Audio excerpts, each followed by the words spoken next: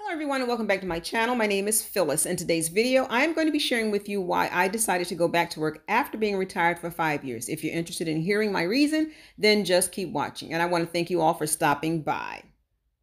And when I said I was retiring, I said I wasn't going to go back to work ever again. Well, I learned even before this time to say never, say never. Hello everyone. Good morning or it's afternoon, 1251, Tuesday, May 23rd. So first of all, let me welcome everyone back to my channel. If you're new, welcome. And if this is your first time, please consider subscribing. Um, check out my videos to see if you like um, what you see. I mainly do DIYs, but I'm starting to implement home decor, more home decor videos. And I also do a few um, thrift store hauls and Goodwill hauls here and there. But um, as you all can guess by looking at the title, um, I'm going to share with you how I um, decided to go back into the workforce coming out of retirement. It's, it's not something permanent. Uh, let me just kind of give you a quick uh, it's not a story, it's just a quick thing as how I made made this decision. I retired from this company that I worked for. It's an insurance company that I worked for for 30 years. Um, I started in 87, I believe it was. Yeah, 1987. And I retired in 2018. Um, and I retired as a total loss claims adjuster the year before I retired, it was October 2017, um, I had to go on short-term disability because um, I started experiencing something that I've never, ever, ever experienced in my life. And that was um, vertigo, which also brought on migraine headaches. And then, you know, living here in Atlanta, driving back and forth with that, it was a challenge. I live um, at least 45 minutes to an hour drive in moderate traffic to work back and forth. But whenever I'd come home, it takes me like two hours almost to get home from work. So um, because I started experiencing that a lot, um, there were times where I couldn't get up to go to work because, you know, for those that have experienced vertigo, everything is spinning. So I barely can stand up straight. I would try to push myself sometime, but um, there are times that I shouldn't have because it was very dangerous being in traffic. So to kind of try to keep my head clear and to minimize the ringing in my ear, I would um, turn on the AC in my car to kind of just keep some air, you know, flowing through because when it's hot, that even aggravated it more, um, aggravated the ringing, and then I would just get so disoriented. Well, um, after calling in several times, I just, you know, I had to make a decision. I went to the doctor and um, after talking with the doctor and my management, mainly the doctor, uh, he told me um, you may want to consider seeing if they will allow you to work part-time. Well, they weren't having that, so I was able to get out on short-term disability until I can, you know, um, manage this situation? Well, it just so happened it was the year before I planned to retire. But when it came for me to go back to work, they were saying that I was able to go back to work two weeks before it was time for me to retire. I had vacation time and I said, nope, I'll just, I sent my manager um, an email says, I'm just going to take the two weeks vacation. I don't need a paycheck. I'm not coming back to work for two weeks and then retire. And when I said I was retiring, I said I wasn't going to go back to work ever again. Well, I learned even before this time say never, say never. Now that's for me. I'm talking to me. So um, the year that I retired, a co-worker friend of mine called me um, and said, Phyllis, um, I know you just retired, but State Farm decided to make a new program for retirees only to work catastrophe claims when the catastrophes come about, like um, when hurricanes come about. Those are for homeowners and then for cars that got damaged. I worked in the auto department. I didn't work in homeowners department. they were going to implement this, didn't know when it was going to start. Um, so I, they sent an email to all retirees that might be interested. And I responded to that. Let me see, I retired in February and I responded to that email in September of the same year. Hadn't heard anything at all. And I figured it's because I wasn't selected. And then when 2020 came about, I figured, okay, they would just um, halt it. They actually activated it this year.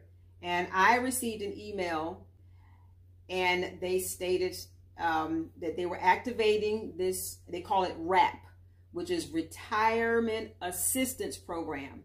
And we were to assist in claims, catastrophe claims. Um, this go round here is for those that worked in the auto claims department, which was me. Um, that's where I worked. I never worked in the homeowners department. So if that comes about, like say in June and July, when the Florida hurricane and stuff comes around and homes are damaged, then they will probably have a team that they will reach out that worked in the homeowners department sometime in the fall. But right now they reached out to everyone that just worked in the auto department who might be interested. I put in for it and I got selected and worked directly from home. They're going to be bringing me um, equipment, which the same thing that was set up at our desk. We, I'm going to say this quickly. I'm just going to share with you all the reason why I decided to do this. When I retired, I, that's when I began to activate my YouTube channel.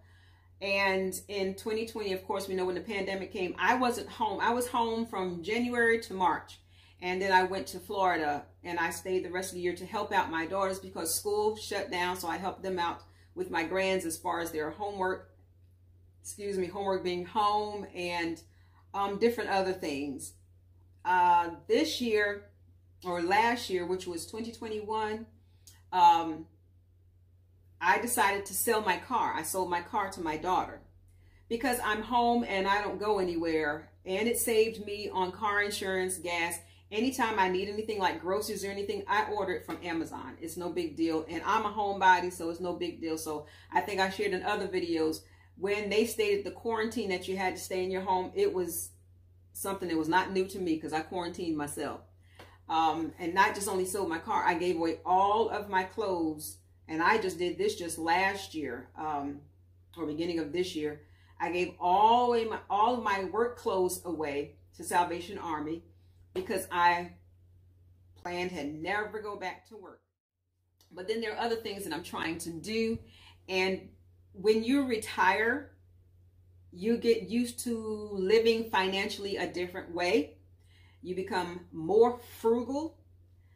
Um, living off of a check that is nowhere near what you made when you were working. I knew this before I retired and I was prepared for it. So it was no big shock to me. Having the opportunity to do something that I have already done because to work in the position that we were in when we retired and get the same pay when retired and I can still keep my pension check coming once a month. That won't be affected. The only time it would have been effective if I was receiving Social Security. I'm not. I'm only 60. I'm not 62 and a half. I think that's when you start receiving it. Position is only temporary. It's only for five months and you can't work. No, I can't work no more than five months. And it might end before five months. Who knows? But the limit is five months. So it's perfect because there are some things that I'm trying to get in order financially because of some decision, lifestyle decisions that made up in my mind, but to get there, I need additional funds. And I thank God that He opened this door for me um, to be able to be selected to work for the company that I worked for 30 years. And not only that, I don't have to train for anything new. Of the fact that I'll be just working from home. So I will be uploading a decorate and set office setup to work from home with me video. Excited that I got this opportunity only because it's not permanent. That's why it's easy for me to just say, okay, I'm good with. So, um, I just wanted to share with you all that I am retired, still retired, but I'm just doing this temporary thing because of some things I wanted to do. And I prayed and asked God for confirmation basically with the decision that I have that I wanted to make, but I knew some financial doors had to be open, and this was one of the doors. So I thought I'd just come and just share that quickly with you all and that I'm learning to say never say never. Because I was one of those that said when I retire I'm not ever going back to work. I ain't pack I'm not packing no grocery bags for nobody. I'm not doing no Uber. I'm not doing no DoorDash. I'm not doing nothing. I'm just gonna do me. But never say never at least for me. I just thought I'd just come on and just share that with you all. It is going to slow me down some more putting up posting videos because all I will have is Saturday and Sunday to work on things. When I'm doing a DIY, it takes me just about all day to do that. Then I take hours to edit. So I'm going to still do my best to upload one video a week. I've been doing one video a week, at least constant. I might have, um, for this year, I think I might have come down a little where I would do one every other week. But um, I'm going to keep the content coming. So I want to thank you all for stopping by and just taking out the time to listen to why I decided to go back to work, but it's part-time, not a permanent thing, and I'm still retired and I'm going to stay retired, but I'm learning to never say never. So I want to thank you all for stopping by and you have a blessed and productive day, everyone. Bye-bye. Thank you so much for watching. JRC Restoration, Decor, and Designs. And remember, the distance between your dreams and reality is called action. So until next time, make it a blessed and productive day, everyone. Bye bye.